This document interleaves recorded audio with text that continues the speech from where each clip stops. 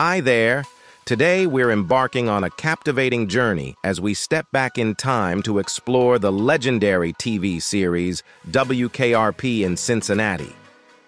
I'm sure many of you have fond memories of this classic show.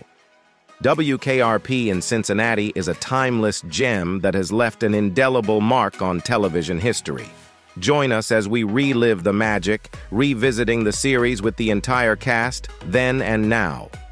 We'll uncover the original identities and ages of the talented actors from the show and witness how they've transformed in 2023.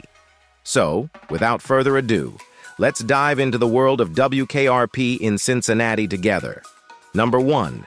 Gary Sandy as Andy Travis. Introducing Andy Travis, the personification of a laid-back leader with an inner fire.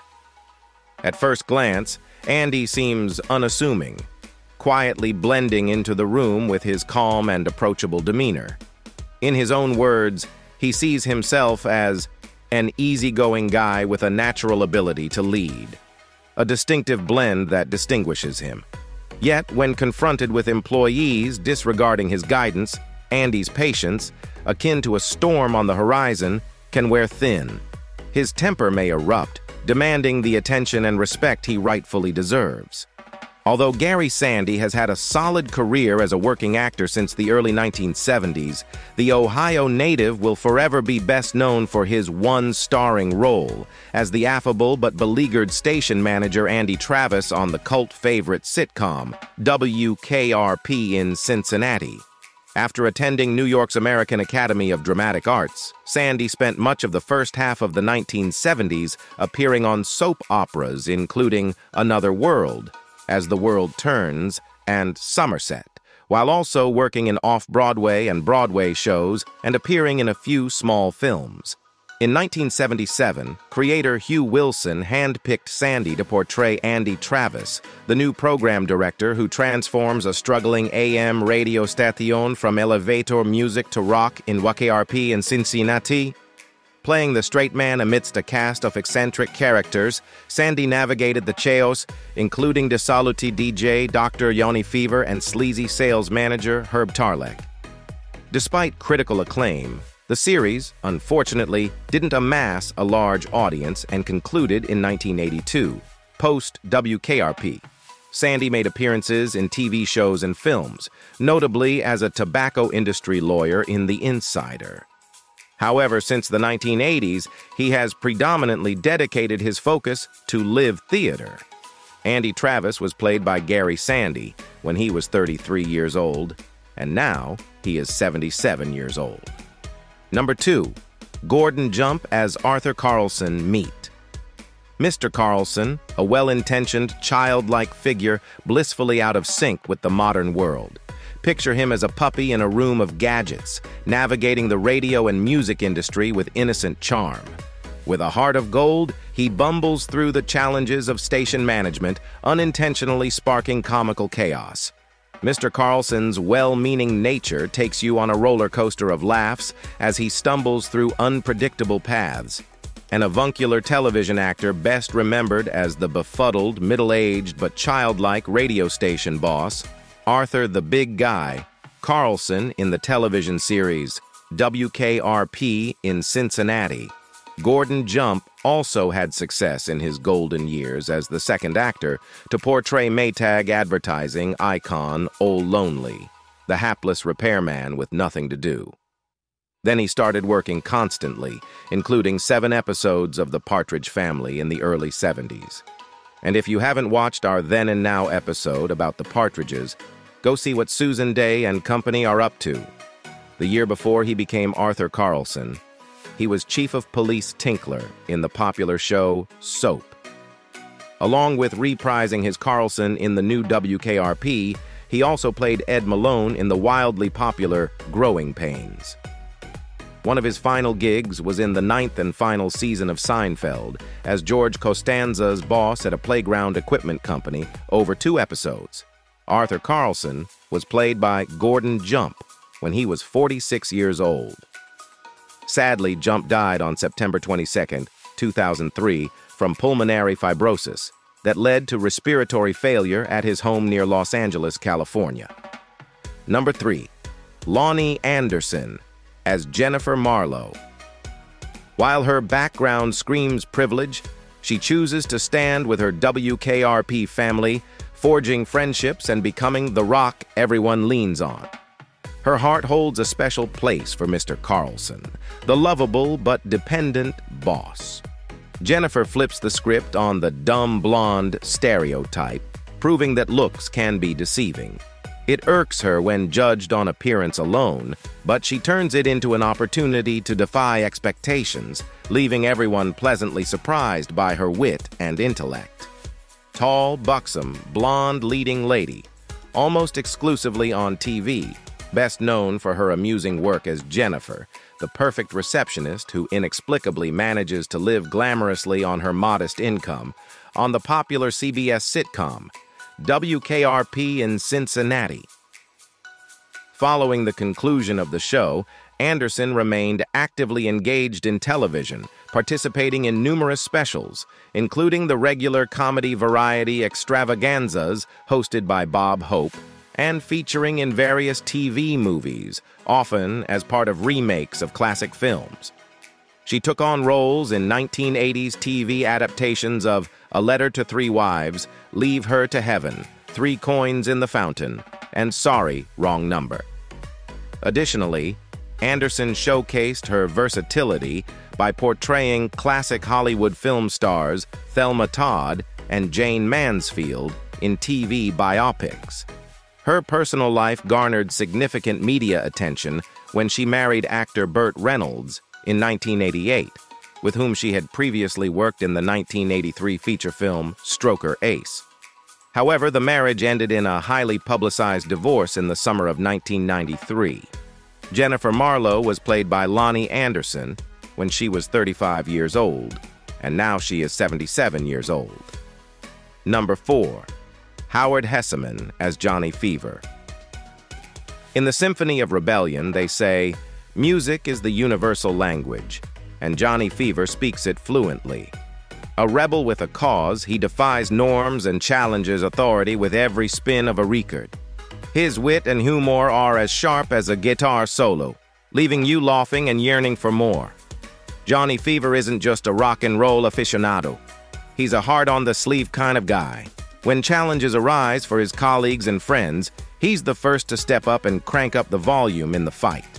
A fixture on the improv comedy scene of the 1960s, Howard Hesseman burst into the mainstream with his roguish Dr. Johnny Fever on the celebrated 1980s sitcom WKRP in Cincinnati. The quirky DJ character, earning him two Emmy nominations, marked the pinnacle of a decade-long career in features and television leading up to the role. Before that, he spent a decade as a member of the San Francisco-based comedy troupe, The Committee. Following WKRP, Hesseman ventured into another successful series, Head of the Class, which he left a year before its cancellation in pursuit of new opportunities in features. While success in films remained elusive, Hesseman maintained a steady presence on television for years after his sitcom stints, and his comedic talents established him as a dependable and well-regarded character actor. Johnny Fever was played by Howard Hesseman, when she was 38 years old. Unfortunately, Hesseman died from complications of colorectal surgery in Los Angeles, California on January 29, 2022, at age 81. Number 5. Richard Sanders as Les Nessman. People think of Les as the Sherlock Holmes of our newsroom. Swap the detective hat for a press badge, and you've got our accuracy wizard armed with more facts than a trivia night. He's basically our living Wikipedia, digging deep into news stories to hit you with the straight-up truth. Les crafts each word like a pro, making sure every bit of news is as sharp as a well-honed sword.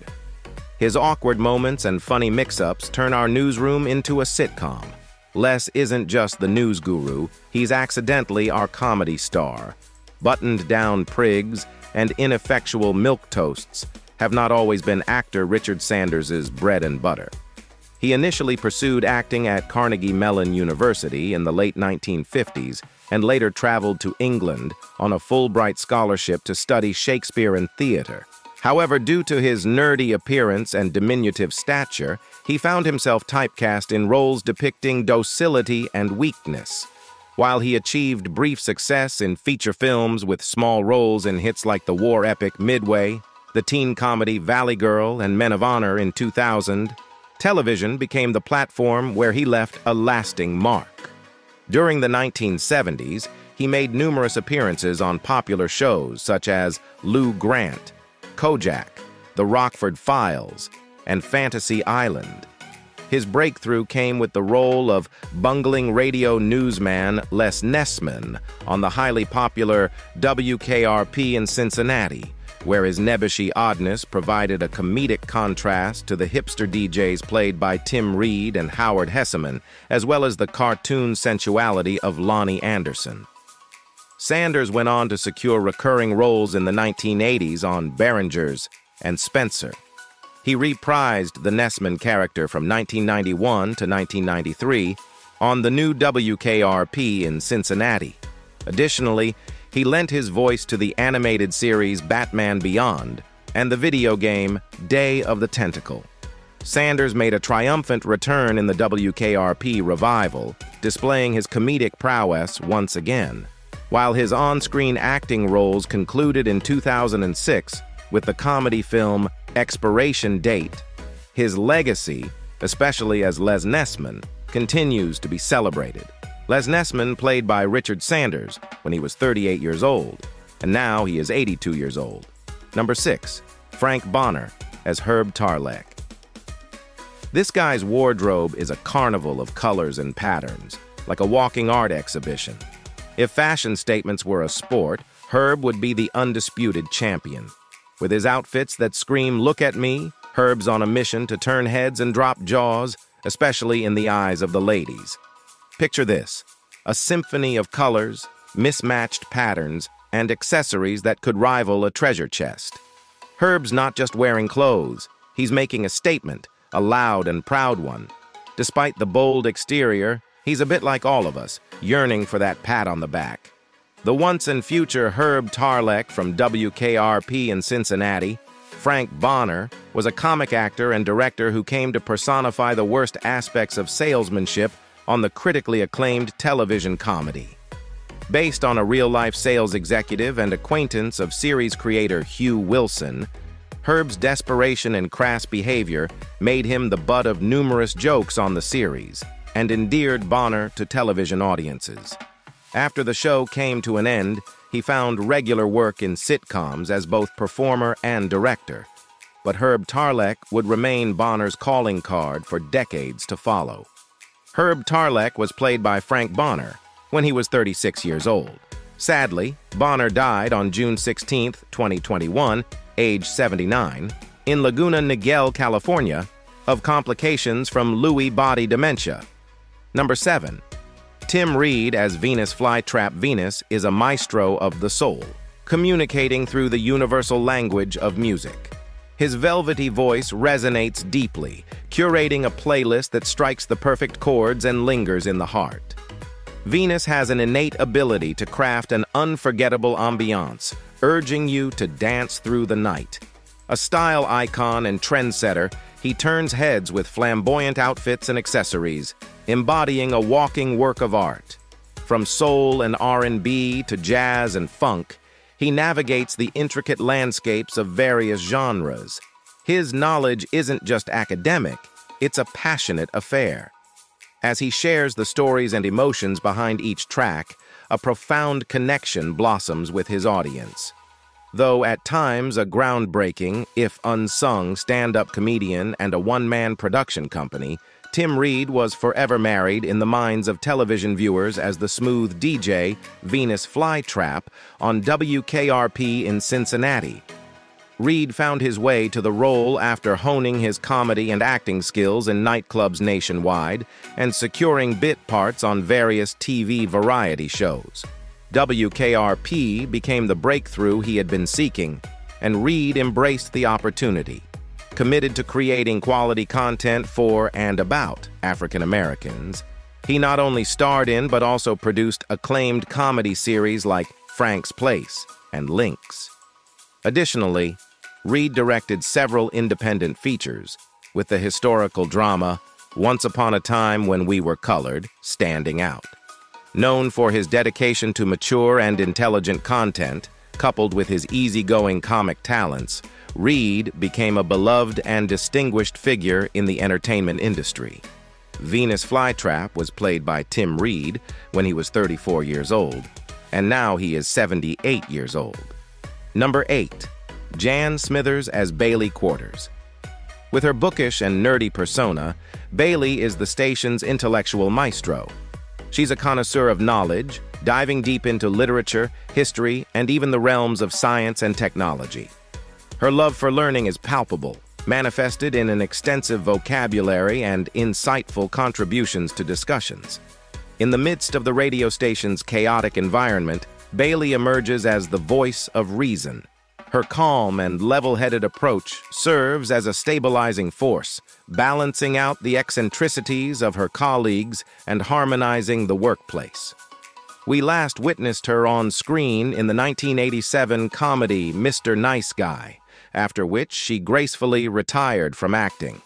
From 1986 to 1995, she was happily married to actor James Brolin, and the two share a daughter named Molly Elizabeth. Jan, now 73, finds joy in traveling, particularly to India. In a recent interview, she shared, I learned to meditate there, and I changed a great deal. Smithers has been a devoted traveler to India for 16 consecutive years, evolving into an advocate for wellness and spirituality. James Brolin was her husband. Bailey Quarters was played by Jan Smithers when she was 29 years old, and now she is 74 years old. Number 9. Carol Bruce as Lillian Carlson. Lillian Carlson, a formidable force in her own right, is portrayed as a strong-willed and independent woman. Her sharp tongue and fearless expression of opinions make it clear that she doesn't back down easily. Lillian exudes a no-nonsense attitude, standing firm in her convictions without being easily swayed by others' opinions or influences. The dynamic between Lillian and Arthur is a blend of support, tough love, and occasional exasperation. In the intricate dance of their relationship, Lillian's strength and independence shine, adding a layer of complexity to the narrative. Bruce embarked on her career as a singer in the late 1930s, alongside Larry Clinton and his band.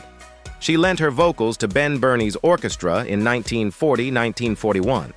Making her mark on Broadway, Bruce debuted in Louisiana Purchase, featuring songs by Irving Berlin, who discovered her at a nightclub in Newark, New Jersey. Notably, she became the first actress to take on the role of Julie in a Broadway production of Jerome Kern and Oscar Hammerstein II's Showboat since the 1932 Broadway revival. Bruce portrayed the character on stage in 1946, earning favorable comparisons to Helen Morgan, the original actress who had played the role in 1927 and reprised it in both the 1932 revival and the 1936 film.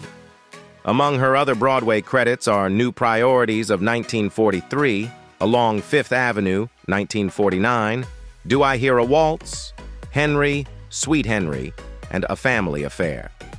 Lillian Carlson, played by Carol Bruce, when she was 60 years old, Bruce died from chronic obstructive pulmonary disease at the Motion Picture and Television Country House and Hospital in Woodland Hills, California, aged 87.